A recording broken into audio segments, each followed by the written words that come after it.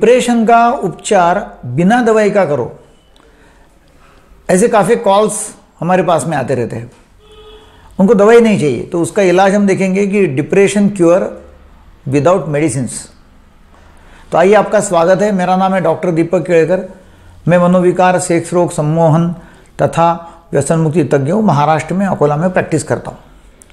Depression ऐसी बीमारी है कि आम जनता में पॉपुलेशन में आबादी में। करीब करीब 10 से 15 टका लोगों को डिप्रेशन है ही, या आते जाते रहता है। किसका मूड डिप्रेस है, किसको डिप्रेशन कंटिन्यूसली है, किसका मूड जो है वो कभी नीचे डिप्रेस कभी ऊपर जाते रहता है। आमतौर पे कोई भी टेंशन दिमाग में आया, वातावरण में कोई स्ट्रेस आ गया, वातावरण में कोई चिंता है, या अतीत के बारे में कोई फ़िक्र या कुछ तो भी हुआ है कुछ बुरा हुआ है, अतीत के बारे में अच्छा नहीं हुआ है तो उसके बारे में। तो डिप्रेशन आएगा मोस्टली अतीत के बारे में कुछ हो उसके बारे में सोचो। या फिर एंग्जाइटी आती है फ्यूचर के बारे में, भविष्य के बारे में कुछ सोचते हैं, चिंता करते तो एंग्जाइटी आती है। डिप्रेशन लोगों को काफ़ी आते रहता है।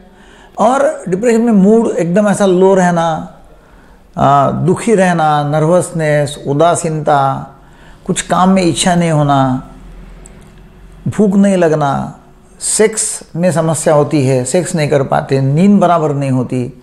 एक तो नींद जल्दी लगती नहीं है, या सुबह जल्दी नींद खुल जाती है। और फिर कभी कभी खुदकुशी के विचार आते हैं, आत्महत्या के विचार आ जाते हैं। कभी व्यक्ति खुदकुशी करने की कोशिश भी करते रहता है। और मूड जो है, वो हरदम डाउन डाउन ही रहता है। ऐसे एनर्जी बहुत लो है टायर्डनेस है, थकान बहुत जल्दी आती है। और सब निगेटिव निगेटिव थिंकिंग आते रहता है। अब ये, इसको जो है, उसको डिप्रेशन को दवाई है।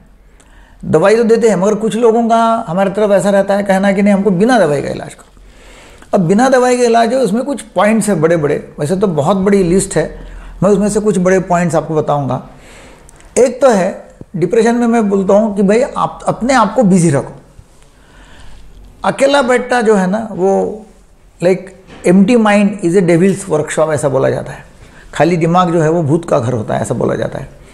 तो अरे हमेशा बिज़ी रखो खुद को। और बहुत सारा बाहर से मतलब डिमांडिंग ऐसा कोई जॉब है, बाहर डिमांड पूरी करनी पड़ती है तो ये छोटे मोटे डिप्रेशन आएँगे भी नहीं।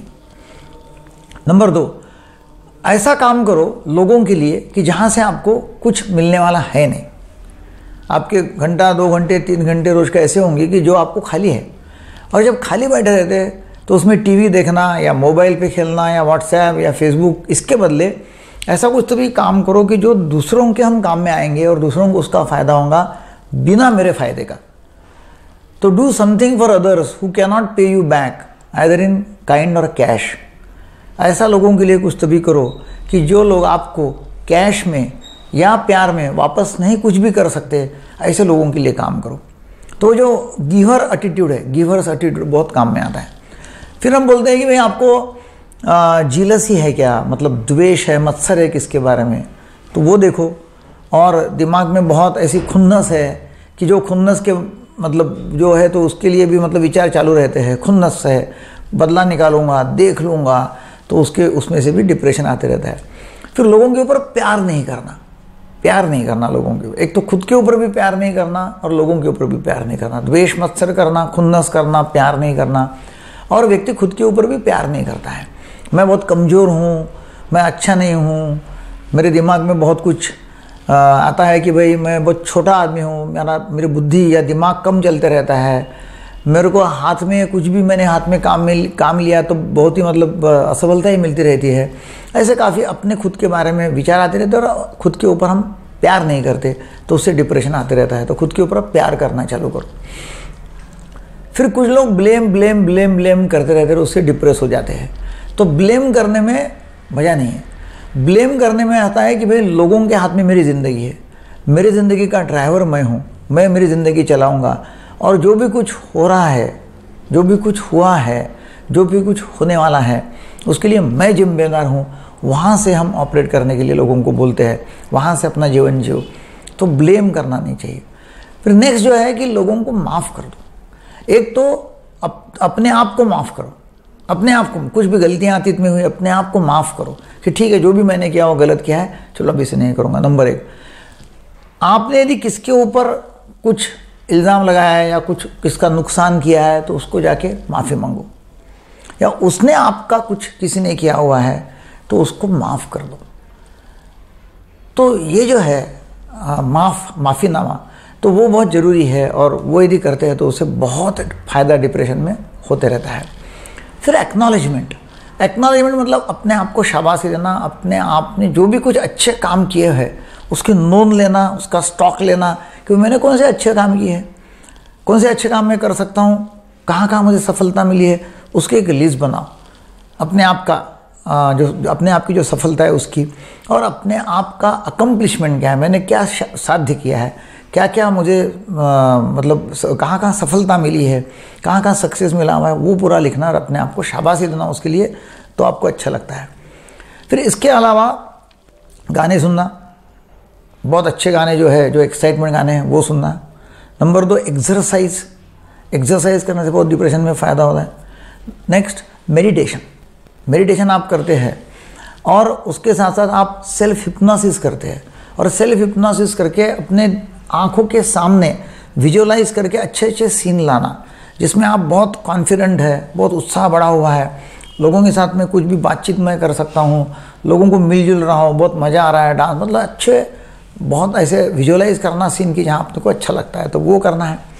नींद है नींद एकदम बहुत अफेक्ट हो जाती है डिप्रेशन में तो नींद, समय पे समय पे नींद लेना और लोगों के साथ में हरदम रहना, लोगों के साथ में रहना, अकेला नहीं रहने का है।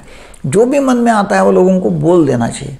मन में रखना नहीं है, क्योंकि जब आप किसी के बारे में कुछ मन में रखते हो और बोल देते नहीं हैं तो उससे बहुत नुकसान होता है अपने आप को। और रिलेशनशिप में भी बहुत दरी आ जाती है। तो ऐसे काफ़ी सारे जो पॉइंट्स है कि जो हम काउंसलिंग में कवर करते हैं, हम कोचिंग करते हैं तो हमारे यहाँ डिप्रेशन के लिए कोई आता है बोलता मुझे दवा नहीं होना तो हम उसको काउंसलिंग करते हैं, उसको कोचिंग देते हैं और निगेटिव विचारों को कैसे दूर करना पॉजिटिव विचार कैसे डालना सेल्फ हिप्नोसिस से निगेटिव विचार निकालना सबकॉन्शियस माइंड के, क्योंकि ये विचार जो है वो पूरे सबकॉन्शियस माइंड में है। तो सबकॉन्शियस माइंड में ही नर्वसनेस सबकॉन्शियस माइंड में ही उदासीनता सैडनेस वो जो आता है तो वो कैसे निकालना, वो हम उसको कोचिंग में काउंसलिंग में, वो करते हैं। काम पड़ा तो फैमिली को साथ में बुलाते हैं। हमारे यहाँ फिर आके लोग रुकते हैं छः सात दिन का यहाँ मुकाम करते हैं और फिर उनको हम उसमें कोचिंग काउंसलिंग सम्मोहन, इस तरह से बिना दवाई का इलाज करते जब दवाई बंद कर डालते लोग तो मेरे दो तीन दिन तकलीफ़ होती है। हम बोलते, ठीक है, तकलीफ़ होने दो, कोई प्रॉब्लम नहीं है। जो चालू दवाई है और उसको दवाई बंद करना है तो दो तीन दिन तकलीफ़ भी होंगी। और वहाँ से फिर डिप्रेशन में उसको राहत मिलती है। तो आप नीचे दिए हुए नंबर के ऊपर आप संपर्क कर सकते हैं कॉल कर सकते हैं ऑनलाइन काउंसलिंग कर सकते हैं हमारे से और आप यहाँ आ सकते हैं। हमारे यहाँ दो हॉस्पिटल है, जहाँ हम मतलब वहाँ रिलेटिव के साथ में रिलेटिव के अलावा, रिश्तेदारों के साथ में, रिश्तेदारों के अलावा लोगों को भर्ती करते हैं, उनका इलाज करते हैं। हमारा जो मकसद है वो है सबके लिए मानसिक स्वास्थ्य और व्यसन मुक्त भारत। अब ये वीडियो अच्छा लगा तो ज़रूर लोगों को शेयर करो। ताकि जो मिशन है उसमें आपका भी, आपकी भी पार्टनरशिप हमारे साथ में हो जाएगी। हमारा जो मिशन है, वो मैं फिर से दोहराता हूँ, सबके लिए मानसिक स्वास्थ्य और व्यसन मुक्त भारत। इसमें आपका भी हाथ लग जाएगा। वीडियो अच्छा लगा तो ज़रूर लाइक करो बेल आइकॉन आता है उसके ऊपर क्लिक करो, ताकि नोटिफिकेशन सबसे पहली बार आपको आ जाएँगे। Thanks for watching